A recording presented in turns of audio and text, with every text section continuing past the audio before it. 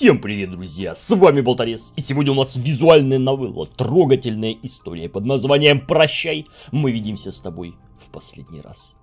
Мне уже не терпится. А эта визуальная новелла должна быть должна быть коротенькой, поэтому мы уложимся в одну э, серию. На мосту стояли два человека. Парень и девушка. Они улыбались и смотрели друг другу в глаза. Вдруг парень прошептал. Я все знаю. Девушка с ужасом отшатнулась. На сцене появился третий участник драмы. Нож. Труп упал и скрылся в бурлящей реке. А что же произошло, что он такое все знает? Но это в последний день, а сейчас... Этот парень не понравился ей с самого начала. Что-то в нем было не так. Но зачем убегать от человека, который ничего тебе не сделал? Глупости. Ты живешь не в этом районе. Откуда я это знаю? Я здесь часто хожу, но не видела тебя раньше. Сумки в руках у тебя нет, значит, вряд ли ты ходил по магазинам. Встретиться мы не договаривались, я бы это запомнила. Но ты сейчас здесь. Из чего я делаю вывод, что ты меня преследуешь? Вовсе нет, я просто проходил мимо. Ни за что не поверю. На самом деле, все мои наблюдения не пустой фарс. Дело не в этом а в том, что я читал гороскоп на сегодня. Там было сказано, будьте осторожны, в течение дня вас ожидает неприятный сюрприз. И у меня нет сомнений, что имелось в виду встреча с тобой. А разве гороскопы не чушь?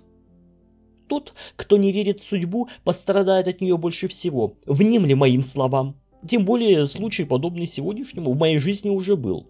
Тогда все было еще проще. Мне обещали знакомство, о котором я пожалею. И вот однажды мы с друзьями культурно выпивали. Вдруг ко мне подошел какой-то парень. Я сидела на скамейке и потихоньку, глоток с глотком опустошала банку. Он сел рядом и полчаса смотрел на меня, как завороженный. Казалось, он вздрагивал с каждой выпитой каплей. А затем ушел, не сказав ни слова. Напомнить, кто это был? Да, так мы с тобой и познакомились. Тогда ты тоже просто прогуливался мимо. Да. В тот раз ты еще не был у меня под присмотром, но сейчас я уверена, что ты шел за мной из самой школы. Петлял и никак не решался подойти, а я, бам, решилась сама. Ладно, ладно, я шел за тобой. Преступник пойман с поличным. Ну же, хватит устраивать дурацкие игры. Спрошу прямо, что ты от меня хочешь? Да ничего особого, я просто подумал, что ты интересная. Может быть. Казаться интересной единственное, что я умею в этой жизни. Да и то не всегда получается. Например, есть у меня одна дурацкая шутка про крокодилов. Рассказать? А, впрочем, неважно. Если это действительно все, то я готова торжественно принять тебя в ряды моих друзей. Но чтобы со мной подружиться, нужно пройти просвещение. Сейчас ты ведь ничего обо мне не знаешь. Она начинает мчаться по мостовой. Он бросается следом. Топот ног, несущихся вслед за ней, режет уши. Эти звуки заглушает ветер, он окутывает ее и продолжает нести вперед. Ранняя весна. Небо. Бежать, не смотреть под ноги. Остановиться. Смеяться, запыхаться, чуть не упасть. Наслаждаться его обескураженным взглядом. Понял? Что именно? Дурачок. Точно полный дурачок. Жизни надо радоваться. А, а я рад, что ты ничего обо мне не знаешь. Я вот совсем неинтересный человек. Да и ты можешь начать относиться ко мне по-другому. Но она не слушала его, не его, а заполняющий уши ветер. Умеешь танцевать? Я, ну, неважно, танцуй. Парень застывает и неловко смотрит то на нее, то на землю. Она только фыркает. Затем пускается исполнять что-то дикое и только ей одно понятное. Наверняка вот эти вот танцы из ТикТока. Мечтаю однажды сосчитать все звезды. А я... Молчи. Так ночь будет тянуться дольше. Был и другой способ не думать. Замедляйся же, замедляйся. Как же легко управлять временем. Часы, минуты, сколько они уже здесь. Неважно. Скрип, еще один. Он, очевидно, от обуви. Да перестань же ты дергаться. Вдруг до нее доходит, что он просто хочет уйти. Подожди, кто ты по знаку зодиака? Близнецы. Так вот почему он сразу ей не понравился. А я Скорпион. Какая же у нас с тобой плохая совместимость? Она нашла загадку. Мысли вырвались из клетки, и их вдруг стало невыносимо много. Они заслонили собой всю реальность. Это не могло быть совпадением. Из транса ее вывел его смех. Настолько громкий, что она вздрогнула. Ни за что не поверю в гороскопы. Бывай. На следующий день оказалось, что сюрпризы не заканчиваются. Удивляться ей пришлось шепотом. Она сидела на уроке. Ты еще и подсел ко мне, маньяк. Тихие мальчики всегда что-то скрывают. Ты просто всегда сидишь одна, ну, вот и подумал. Понимаю, без свидетелей разобраться с жертвой гораздо легче. Кто же знал, что у меня будет такой подозрительный одноклассник? Опять болтаешь? Марья Ивановна, я тренирую мышцы рта. Меня зовут Тамара Валентиновна. И что? Я все равно буду вас звать Марьей Ивановной. В таком случае придется звонить твоим родителям. У вас ничего не получится, у меня нет родителей. Когда игра в гляделки с Марьей Ивановной заканчивается, Лена мельком смотрит на соседа. Она что, детдомовская? Не смотри так, я просто не запоминаю имена людей, которые мне не нравятся. Тебя, кстати, зовут Мартин. Запомнила. А еще ты можешь меня поздравить. Я вернула свой телефон. Марья Ивановна вытащила его из моей сумки, пока я отходила в туалет. Представляешь? И она постоянно ворчит, что я не делаю домашние задания. Однажды она заперла меня в кабинете на выходные, конечно же, отобрав телефон. А прыгать с третьего этажа мне не очень хотелось. В общем, выпустила она меня только тогда, когда я сдала ей все работы за четверть. Ой, приближается. К доске пойдет Лена. Видел? Она только что пообещала меня убить. Хотя это скорее напоминает публичную казнь. «Лена! К доске! Что за недовольное ебало? Ты еще прощаться со мной не захочешь?» «Я и так не хочу с вами прощаться». Они обе фыркают, Тамара Валентиновна не знает, что девушка говорит правду. Она выходит к доске и через 10 минут садится. Каждый день одно и то же. Это даже забавно. Стабильность. Есть что-то манящее в этом слове. Я разное, конечно, видала, но 10 минут слушать, что цифру 3 и букву «З» нужно писать по-разному, это что-то выдающееся.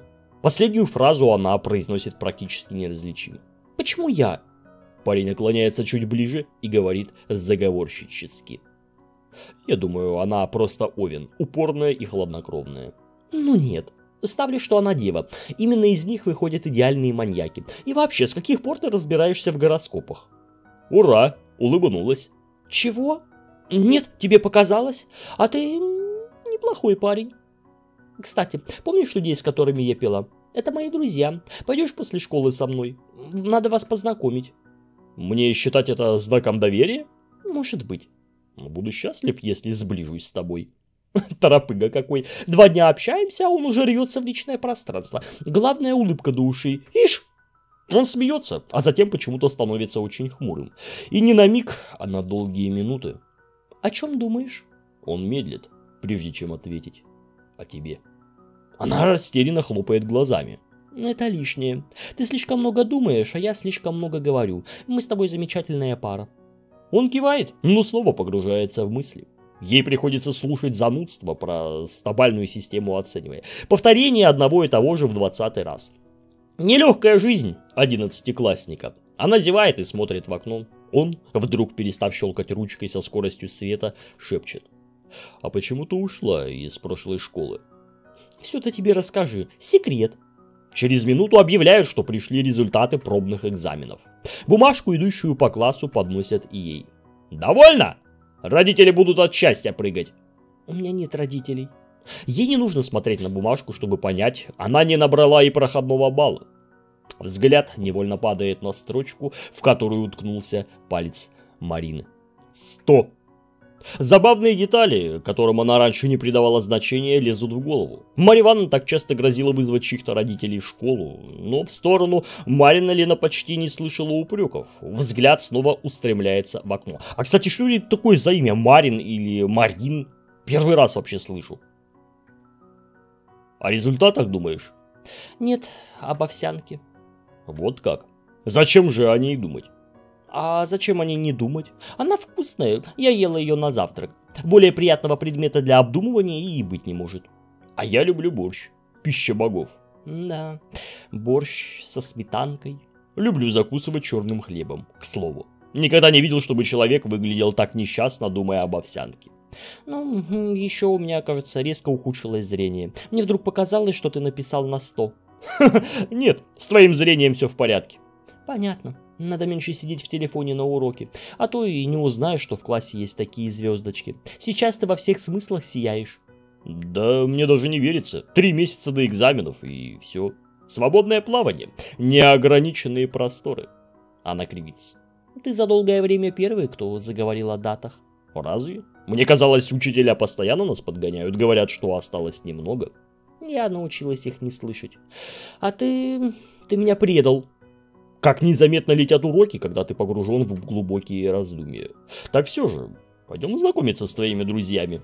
Нет, видимо, я погорячилась. Понимаешь, знакомить кошку с собакой, ты вряд ли найдете тему для разговоров. А я вообще-то уже настроился.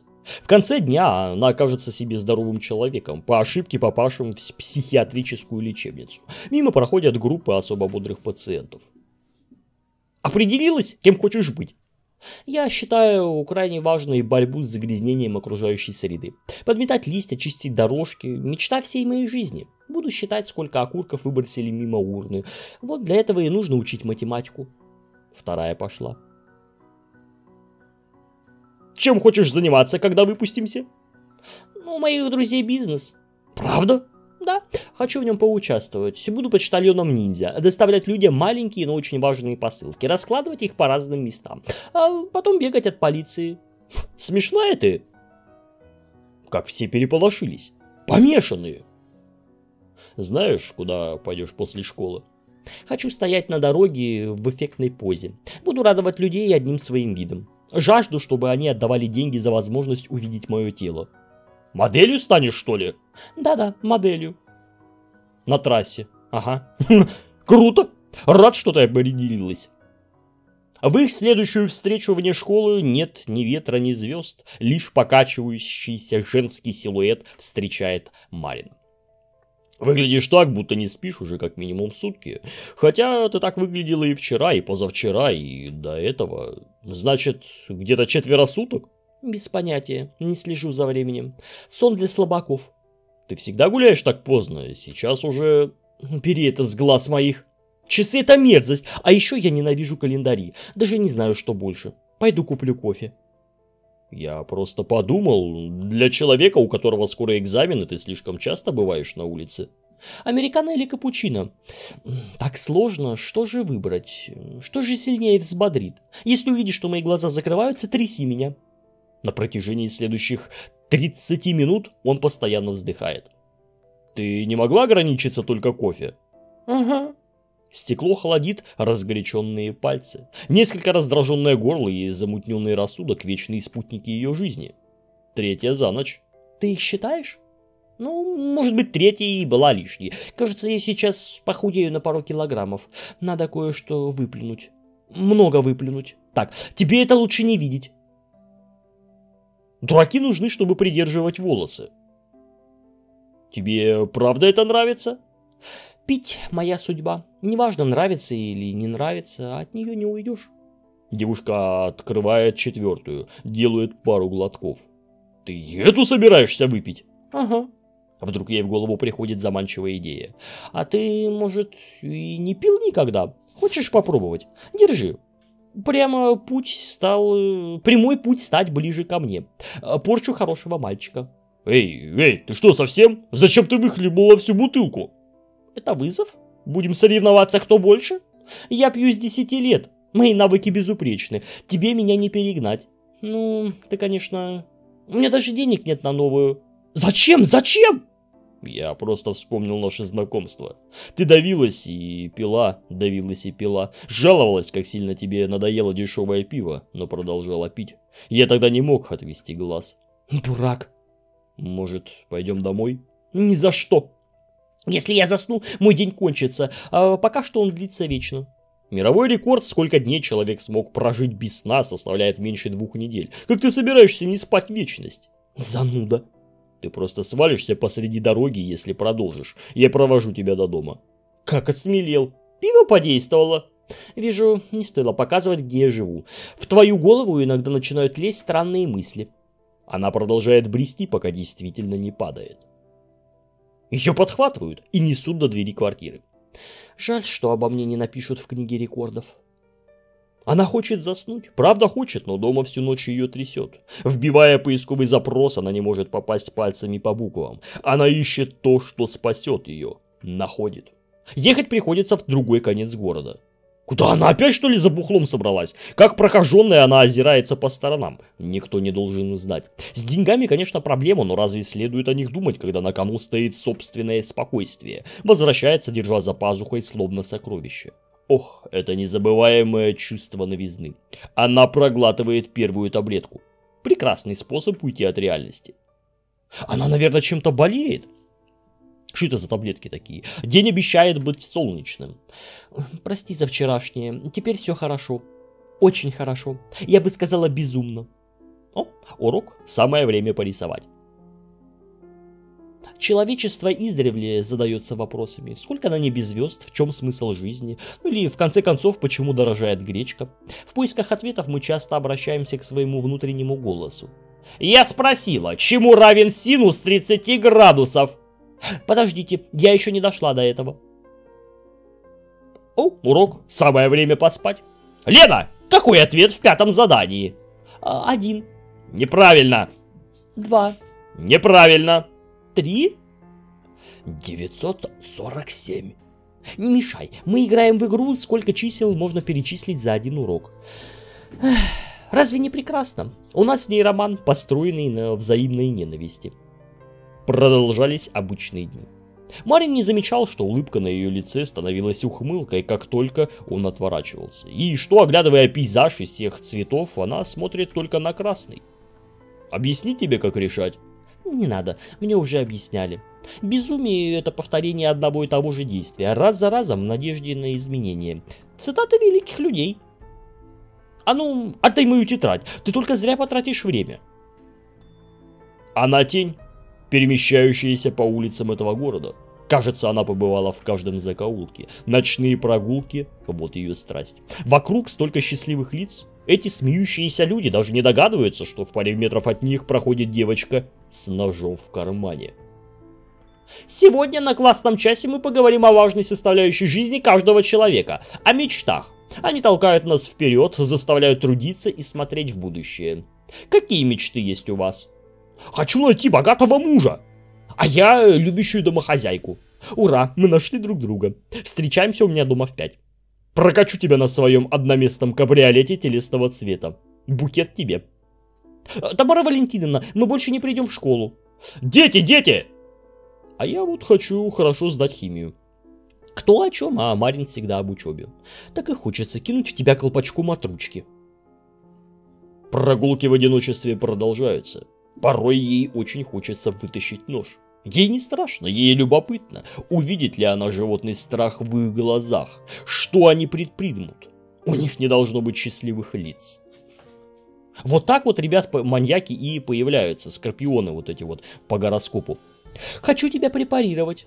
Знаешь, понять, как в такой маленькой голове столько всего помещается. Слушай, а расскажи мне про размножение богомолов. А? Ну, они откладывают яйца. Да шучу я, раскраснелся весь. Ты просто сегодня весь день из учебника по биологии не вылезаешь. Ну, контрольные, что поделать. Эти странные замашки отличников. Последний раз я готовилась в восьмом классе. Десять часов сидела и перечитывала конспекты. Написала на два. С тех пор перестала готовиться. Тебе правда помогает э, просто читать? Ну да. Скажи, когда был День Святого Валентина, с кем ты его провел? С учебником алгебры или учебником геометрии? Думаю, они за тебя подрались. Ну и дурак ты. Я обязательно кину в тебя колпачок. О, урок. Самое время поделать самолетики. Может, ты работаешь на батарейках? Где ты хранишь их? Как ты умудряешься трудиться круглыми сутками? А я не круглыми сутками. У меня все по расписанию. Когда нужно отдыхать, когда учиться. Как ты вообще включил в расписание наши ночные прогулки? Приходишь сонным, мешает готовиться, разве нет? Просто иногда я боюсь оставлять тебя одну. Два месяца до экзаменов. Слышала про случай в 69-й школе? Какой-то парень ручкой проткнул глаз однокласснику за то, что тот списал его домашнее задание. Вот это, конечно, нервы сдали. Страх какой. Хорошо у нас таких людей нет. Кстати, из прошлой школы меня исключили. Рука привычно тянется к белым таблеткам. Лена проглатывает одну, расслабленно вздыхая. Стены кажутся уже не такими серыми, потолок не таким обтрескавшимся. Она глупо пялится на свисающую паутину.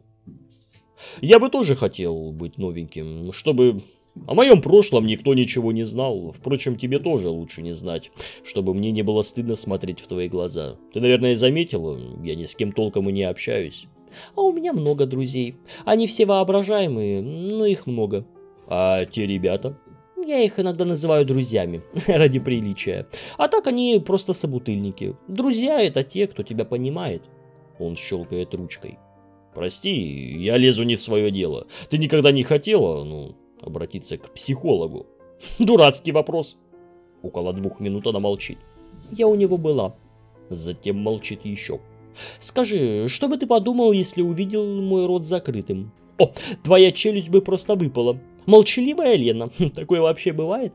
Ты бы подумал, что меня подменили инопланетяне. Так вот, я ненавижу инопланетян, они почему-то крадут меня именно у психологов. А потом, когда я выхожу из их кабинета, возвращают. Месяц до экзамена. Черт, черт, черт, давно пора было собрать подписи, чтобы даты запретили на законодательном уровне. Я так надеюсь, что поступлю. Хочу быть врачом. Порой я тоже. Ковыряться в людях, а потом продавать их органы. Весьма романтичная штука. А еще, учитывая, что она постоянно жрет колеса, она могла бы сама себе а, постоянно выписывать лекарства. Нет, нет, мне просто нравится помогать не самая хорошая черта характера. У тебя столько сил и амбиций, где ты и где другие. Ты сможешь зарабатывать миллионы, проводить ночи с кучей поклонниц, гонять на крутых тачках, читать рэп. Что там еще ценится в обществе? Ты растеряешь весь свой талант, если будешь постоянно тащить кого-то на горбу. Застрянешь в бесконечной помощи другим и так и не заметишь, как жизнь пролетит. Моя поддержка осчастливит людей? Наверное. Тогда пускай у меня не будет собственной жизни. Ну, это... И у нас есть выбор. А, мы можем ответить, что это глупость или это благородность. А давайте мы возьмем и сохранимся. И, может быть, даже успеем посмотреть на все варианты. Ну, на самом деле, это, конечно, благородность. Какая-то глупость. Это благородно с его стороны. Это похвально. Но ты все равно дурак. Блять, ей вообще не угодишь никак. Она не знала, что когда Марин сидел в одиночестве и его никто не слышал, он часто повторял одну фразу. Жаль только, что я не умею помогать. О, урок, самое время выброситься с третьего этажа. Жаль, что такой талантливый молодой человек дружит с такой нестарательной девочкой. Чую, она плохо на тебя влияет. До нее наконец-то дошло, что я развращаю хорошего мальчика. И как я вообще смею с тобой дружить? Не обращай внимания. Может, поговорим о... Даже не знаю. Географичке сегодня очень понравился мой пересказ параграфа. Меня... Меня тоже похвалили. Кто? Ну, продавщица. Я дала ей ровно без сдачи. Она сказала, что я молодец. Это было пару недель назад. Я запомнила. Она утыкается взглядом в парту и начинает фломастерами набрасывать что-то на листе. Оценишь рисунок? Смотри, это ты. Я выводила контуры, смешивала цвета. Здесь должны были быть глаза, а там губы. Жаль, что я совсем не умею рисовать. Ну то, что, блядь, ты не умеешь рисовать, это мягко сказано. Это, блядь, за хуйня какая-то. Однажды в очередной раз, свернув переулок, она решается. Все кажется сном, но кровь слишком отчетливо пахнет железом. И она понимает, чего ей не хватало в последнее время. Этого запаха. Как хорошо, что инцидент в прошлой школе был замят. На следующий день, распивая чай, она узнает новость, от которой впадает в ступор. Кружка зависает в воздухе примерно на 15 минут. «Слышал? Марья Ивановну уволили. Э, чья-то мама устроила скандал». «Разве не хорошо? Не представляешь, как я рад?»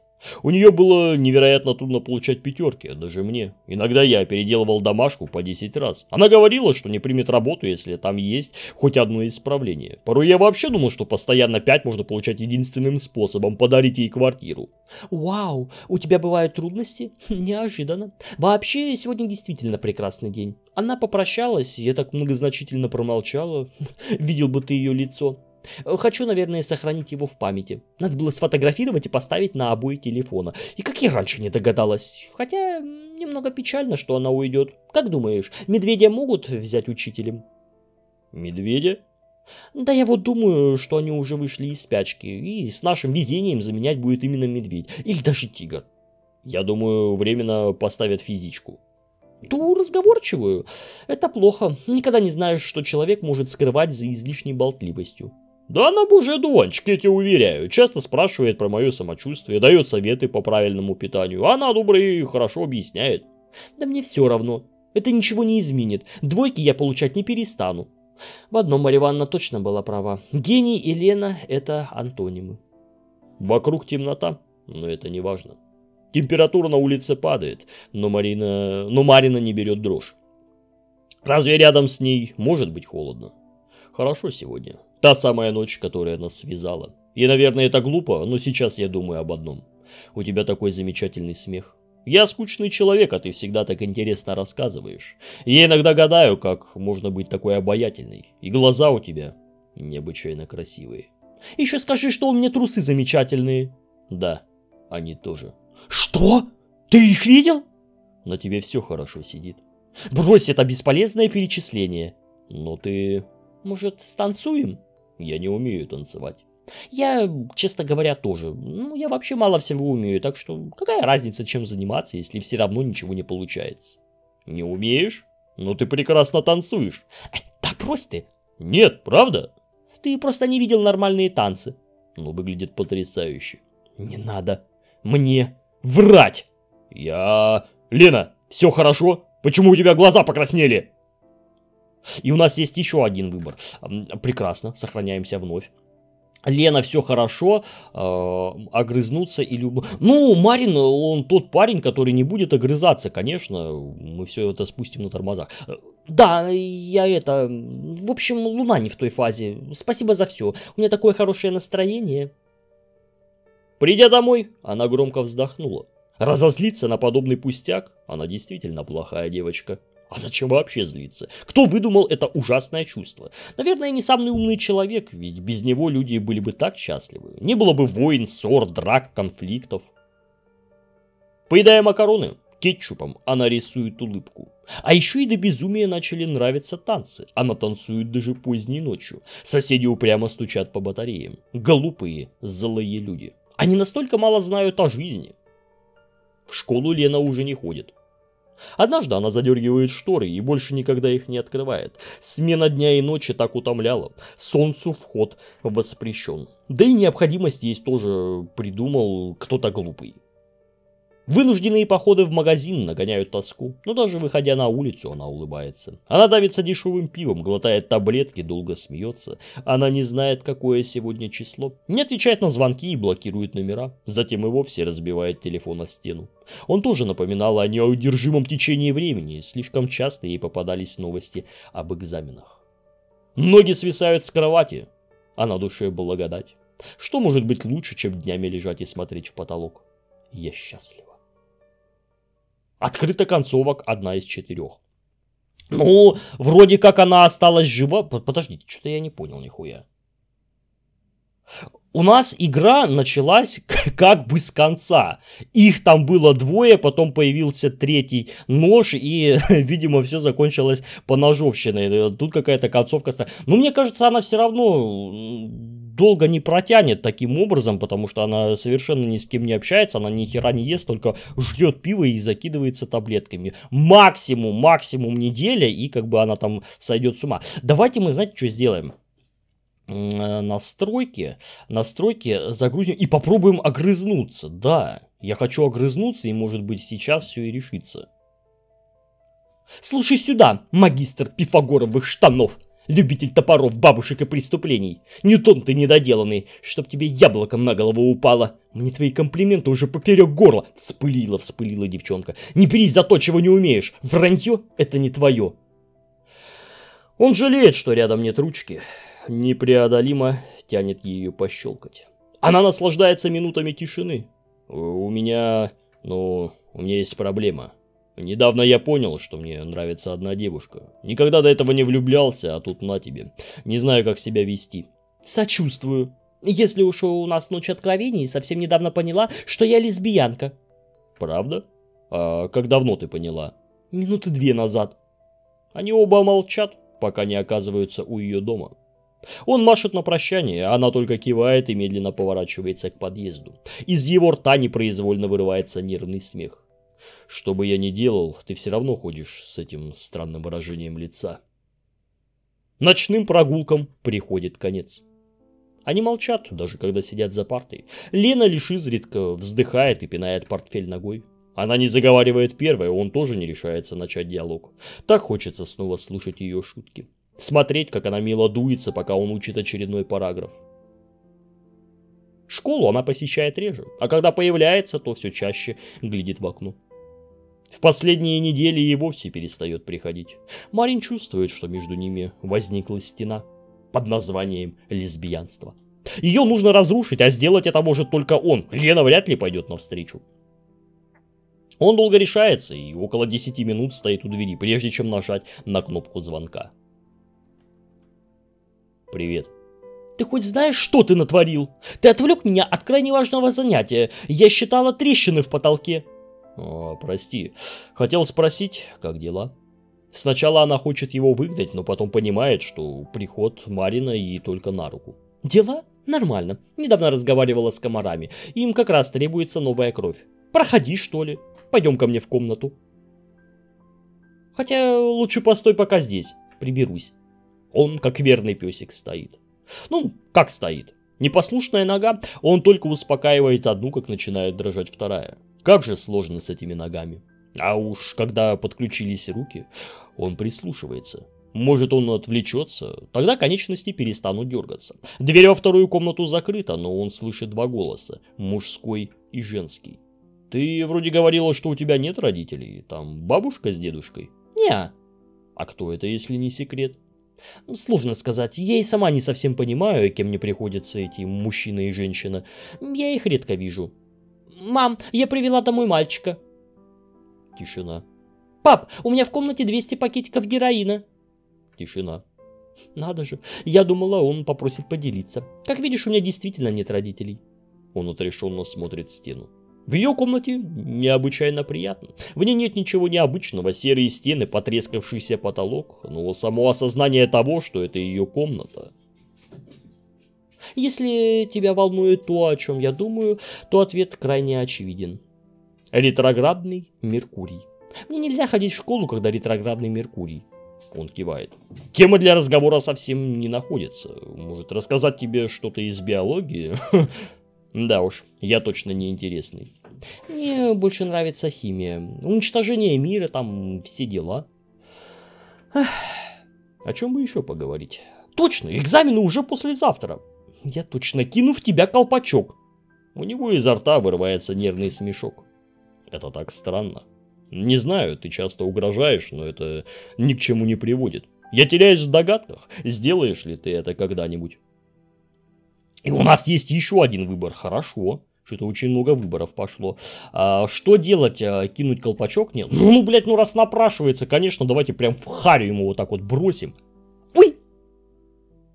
Видишь, я настроена решительно. Более что ли захотел? Мазохист проклятый. Она подумала, сколько же она не знает. Сидит здесь, как ни в чем не бывало. Не знает, как много минут она потратила на то, чтобы заточить нож. И как сильно порой дрожат ее руки. Она задумывала это уже давно, хотя не была уверена, что доведет дело до конца. Но раз уж он сам к ней пожаловал, почему бы не воспользоваться шансом? Точно, уже совсем немного осталось. Завтра последний день перед экзаменами. Может, в честь этого встретимся? Ангельская улыбка. Марин отвечает такой же. С радостью. Погуляем, да? Непременно. Погуляйте, погуляйте. Теперь остается только ждать. Она качает ногами и едва сдерживает смех. Парень воодушевленно осматривает ее комнату. Вдруг она понимает, что кое-что забыла убрать. Таблетки. Марин разглядывает банку со всей внимательностью, как-то нахмурившись. Она делает глубокий вдох, надеясь, что ее испуганное лицо он примет за возмущенное, и не находит ничего лучше, чем сказать. «Любишь брать чужое без спроса? Это витамины». Он кивает. «Понятно». Он узнает эти таблетки, но ничего не говорит. Она не должна понять, что он тоже когда-то их принимал. Блять, два сапога пара. В эту ночь они оба не спят. В голове Марина события прошлого складываются в единую картину. Он начинает подозревать. Лена же достает телефон и смотрит короткие видео. В один момент изображение резко ухудшается в качестве. В попытке наладить связь она подносит телефон к окну. Затем понимает, что расплывается не только видео. Ноги не держат, но схватившись за полку, она хоть как-то сохраняет равновесие. Пальцы крепко сжимают древесину. Удар в висок. Кажется, будто голова столкнулась с чем-то тяжелым, но боль идет изнутри. Она падает на колени, дотягивается рукой до двери, произносит слово, которое почти забыла. «Мама! Мама!» Она надрывается в крике. Когда сил не остается, начинает скулить. Она вырывает руками куски обоев и бьет кулаками по обшарпанным стенам. Точно, у нее же нет родителей. Утром она просыпается на полу. Вот и все, пора идти. Слушай, та женщина, это случаем не наша медсестра? Наша полнее. А мужчина с хвостиком не наш физрук? Нет, ты чего, даже не похож. Опять у меня зрение ухудшилось. И сама же смеется. Когда хочешь совершить нечто плохое, везде начинают мерещиться знакомые силуэты. Лена ведет Марина на мост. Тот убеждается, что ему не кажется. Он действительно понял ее замысел. Столь безлюдное место. Боится ли он? Конечно. Он изгрыз все ногти, пока думал об этом. Ему хочется убежать, но это ничего не решит. Рано или поздно она попытается вновь. 11 лет так быстро пролетели. Какая жалость. Никаких больше тараканов в столовой. У вас они были? Чего у нас только не было. Мыши, пауки, учительница русского. Изучали животных на практике. Ну, самые страшные тараканы были у меня в классе. Девочки в подростковом возрасте, это просто ужас. Столько сплетен и обид друг на друга. Мальчики, впрочем, тоже не сахар. Ох, как мы за них сражались. В седьмом классе мне нравился мальчик, которого звали Семен. Еще у меня была одноклассница Алиса, и однажды она сделала то, что я не смогла ей простить. Она на него посмотрела. Я немедленно вылила ей на голову манную кашу. Земля Алисе пухом. Эх, что уж говорить про младшеклассников. Бегают, вопят, такие маленькие пищащие тараканчики. Смотрю на них и думаю, мы тоже были такими. Точно, признайся, ты дергал девочек за косички? Ну, секрет. Значит, дергал. Вот негодяй. Жестокие мальчишки. Как много девичьих слез на вашей совести. Зато, когда я повзрослела, справедливость восторжествовала. Мальчики начали отращивать волосы, уже я дергала из-за косички.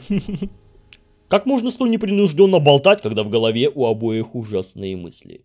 И ведь я никогда больше не встречу здесь 1 сентября. У меня сейчас такое странное чувство, словно теряешь часть себя. Грустно. Зачем грустить? Для тебя это дверь в светлое будущее, а для меня конец. Она замирает и смотрит Марину в глаза. Но кто сказал, что я должна просто молча терпеть и ждать? Марин решается. Он понимает, что дальше может быть уже поздно. Я все знаю. Она с ужасом отшатывается. Так значит, он догадался? Не надо, пожалуйста. Я не уверен, есть догадки, но, но не надо. Ее фразы связаны уверенно и с выражением, будто в фильме. Стыдно признаться, но она даже репетировала перед зеркалом. Почему не надо? Боишься, что тебе будет больно? Правильно, бойся. Она поднимает нож. Страшно? Смотри внимательно. Лезвие такое острое. Она уже пробовала, видела, как хорошо оно разрывает плоть. Она машет ножом перед его лицом, размахивается, резко застывает. Пытается пошевелить рукой, но не получается. Обхватывает нож второй, но и ей больше не может пошевелить. Какая же я бесполезная. Я даже этого не могу сделать. Девушка начинает дрожать. Я так давно хочу убить себя. Так давно, что я даже не помню насколько. Интересно, когда я задумалась об этом в первый раз? Когда же вся моя жизнь стала существованием от истерики до истерики, с вкраплением шуток и попыток казаться веселой? Она долго стоит и молчит. Только это позволяет Марину собраться и отойти от оцепенения. А те таблетки не помогают? Это просто успокоительные. Как видишь, сегодня я все-таки стою на мосту. А еще у меня нож в руке. Забавно, правда? Она продолжает стоять. Все расплывается. Наверное, сейчас она упадет в воду, но не по своей воле, от усталости. Ну, какая разница? Это наконец-то закончится. Скажи, ты мне веришь? Она смотрит в пустоту, хочет огрызнуться, но понимает, что сил не осталось.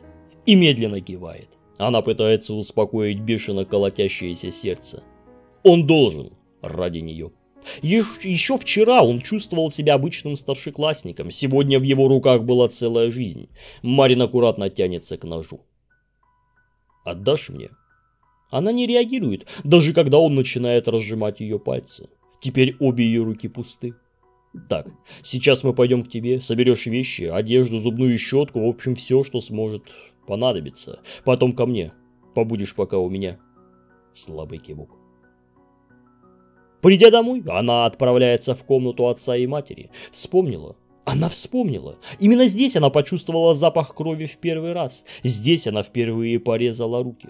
Она ощущает пристальный взгляд, пока собирает вещи.